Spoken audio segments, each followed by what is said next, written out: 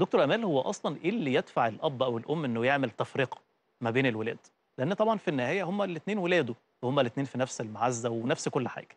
ولكن إيه اللي بيخليني أندفع نحو واحد بخلاف التاني؟ وأخلق هذه الحالة العدائية. لا هو ما حدش بيفضل حد عن حد. لكن هي الطبيعة الإنسانية. أنا كأم خلفت طفل كبير. أول ما بيبقى عندي طفل صغير دايما إحنا بنروح لل إيه للأضعف. نحب الصغير أكتر نحب التعبان أكتر. نحب ال- الحلو قوي أكتر. في ناس بتفضل الولد عن البنت. فالتفضيل بيبقى مراحله مختلفة. عشان كده غصب عن الأب والأم ساعات بينجرفوا ورا مشاعرهم بإن هم يظهروا اهتمامهم بطفل أكتر من الآخر.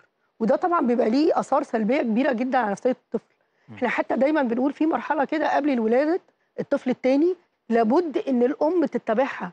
أول ما تعرف إنها تبقى حامل أو هتبقى تنجب طفل تاني تهيئه. لازم تبتدي تهيئ الطفل آه. الأكبر لوجود شخص تاني. أنا هجيب الطفل ده علشانك. أنا هخلف علشان يبقى ليك أخ. تخلي بالك منه. أنت الكبير. أنت اللي بتفهم. أنت الأحسن بالنسبة لي. أنا بحبك جدا. وأنت كمان هتحب أخوك الصغير. يعني لازم بنوجه الأمهات إنها تبتدي تعمل عملية تمهيد للطفل. وإنها زي ما إحنا متعودين نقول لهم هاتوا له هدايا. وقولوا إن الطفل اللي جاي ده هو اللي جاب لكم الهدية دي. فيتعلق بيه ويحبه قبل ما يجي.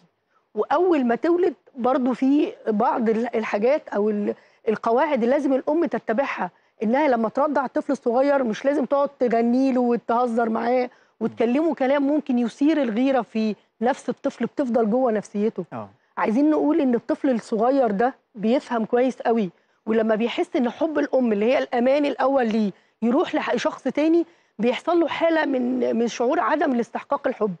بتفضل معاه اللي هو أيوة. النيدز آه، ف- فبيبقى حاسس طول الوقت إن هو غير مستحق للحب. فممكن المشكلة دي تفضل معاه لحد ما يكبر ويواجه مشاكل كبيرة جدا في بس حياته عايز أقول لحضرتك حاجة في بعض الأزواج بيغيروا من اهتمام الأم بأولادها.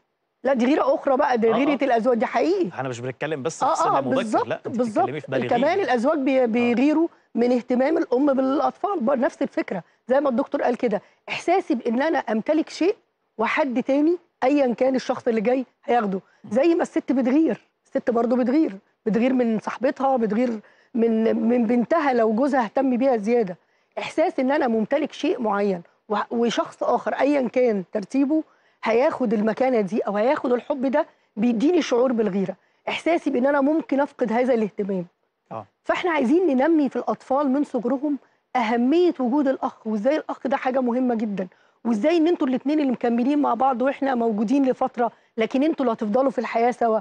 إزاي أخوك يكون عو- عون ليك في الحياة؟ إزاي يكون سند؟ نأكد دايما على أهمية وجود الأخ. وسيدنا موسى لما طلب من ربنا أول طلب ليه؟ هارون كان طلبه كان طلبه إنه يكون ليه أخ يكون له سند. فإحنا عايزين نأكد دايما على هذه المعاني ونكملها في الحياة مش بس ناخدها مجرد ما ابتدي أجيب طفل تاني وأتوقف لأ. مهم جدا الأم تشتغل على الموضوع ده طول الوقت. آه. بلاش المقارنات يا جماعة. المقارنات صعبة جدا. إن أخوك أحسن منك إن أخوك بيذاكر أحسن منك إن أختك آه، شفت طالعة متفوقة إزاي وأنت لأ ده إحساس. بهدم في مشاعر الطفل أنا طول الوقت بهدمه